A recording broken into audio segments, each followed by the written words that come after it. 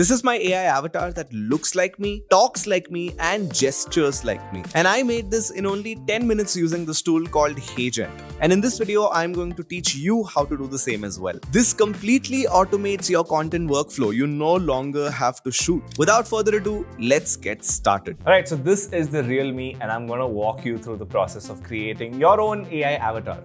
Let's go. So first of all, I'm going to app.heygen.com and I'm going to create an account. Now I already have an account, so I'm just going to sign in. Now once I'm signed in, I can see a bunch of options like instant avatar, photo avatar, template, AI script, etc. You can do a bunch of things with this tool, but in this video, I'm only going to teach you how to create your own AI avatar that can do videos for you. The whole point of this is to automate your videos in some way or you not having to record a message a thousand times and just having to type in a script or just do a simple voiceover. So the first thing you need to do is click on Instant Avatar. And once you do that, you can actually see this option called Free Instant Avatar. Now, whenever you sign up for HeyGen, you get one free instant avatar and you get one free credit out of which you can basically make a 60 second video. After that free version, you have to basically buy credits. I'll quickly walk you over through the pricing plan, but let's first create our avatar and then get into it. So I'm going to click on free instant avatar and this video is going to play. Hey guys, I'm Joshua CEO of HeyGen. Let me show you these two videos. By the way, this is not the actual CEO. This is the HeyGen version of the CEO. Pretty cool, right? Let's get mm-hmm. started. So you can either take text instructions or video instructions. I prefer text because this is like an instruction manual, so I'm just gonna click on that. So let's quickly go through the rules and regulations or the do's and the do nots. So the way this tool works is that it takes a two to five minute video footage of yourself and then it kind of processes it. It understands your gestures, it understands your voice, it kind of stabilizes your backgrounds, it understands your hand movements, your facial expressions, it understands all of that. That's what the model does.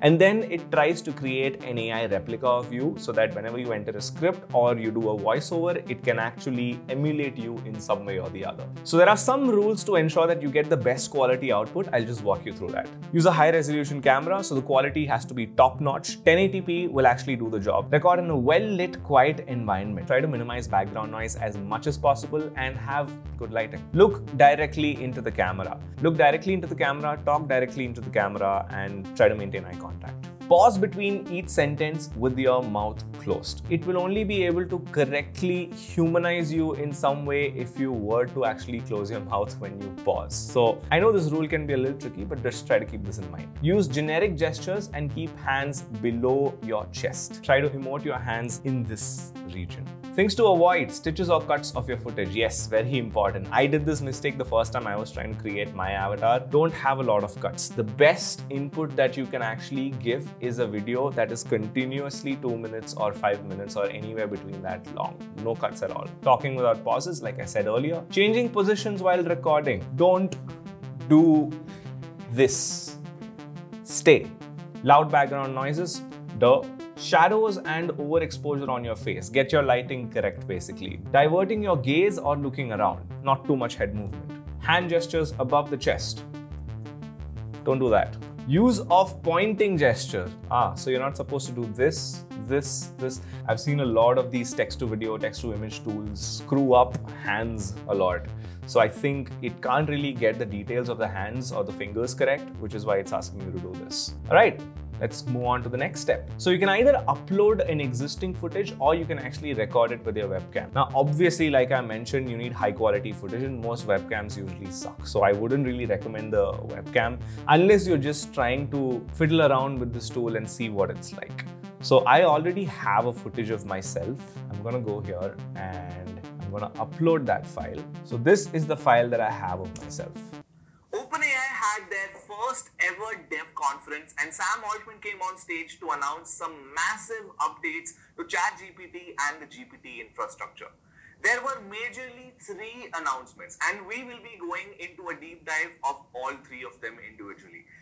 So that's basically the video. But again, guys, I made a little bit of a mistake over here. I wasn't supposed to really keep my hands over my chest. So just keep that in mind. Put it a little down and you'll get much better outputs. But even when I did this, I still got like pretty decent outputs. But if you really want the best output, keep it below your chest. So this is the only video I have. So I'm just gonna put it in here. And they ask you a bunch of questions. Your face is visible at all times? Yes. You're looking directly into the camera? Yes Mm-hmm. There are pauses between sentences? Absolutely. The environment is well lit and quiet? Yes. My footage looks good. All right, let's go. Now, in the age of AI and deepfakes, it is very common for someone to actually use someone else's face. There was this whole Rashmika Mandanna thing that happened on Twitter when somebody did a deepfake, deepfake video and Amitabh Bachchan retweeted it saying that they can take legal action. In order to prevent this, you are required to provide a legal consent that you are consenting HeyGen in order to create an avatar of yourself so that you can actually go ahead to record the videos. So I'm just going to quickly record my consent turn on mic and cam. It basically has a script. I have to just read the script that's going to come on the screen. Hereby declare that I authorize HeyGen to use the footage of me to build a HeyGen avatar and use it in my HeyGen account all right, it has my consent. So the tool actually validates the consent while we're actually uploading it. So that's going to take about 20 seconds and I'm going to hit submit. So it's going to take a little while for my video to get uploaded. Now, while our video is getting ready, it's going to take about two to three minutes. I'm going to quickly take you through the pricing.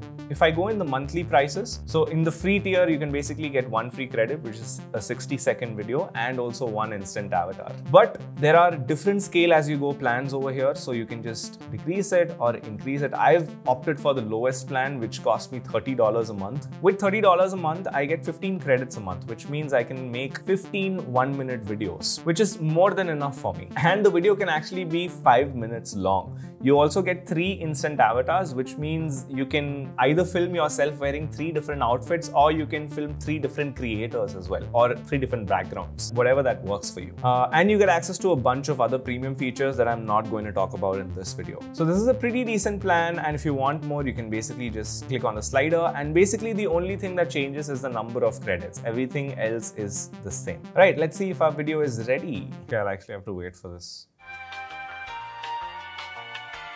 Uh, the most annoying part about AI is that it makes you wait for so long.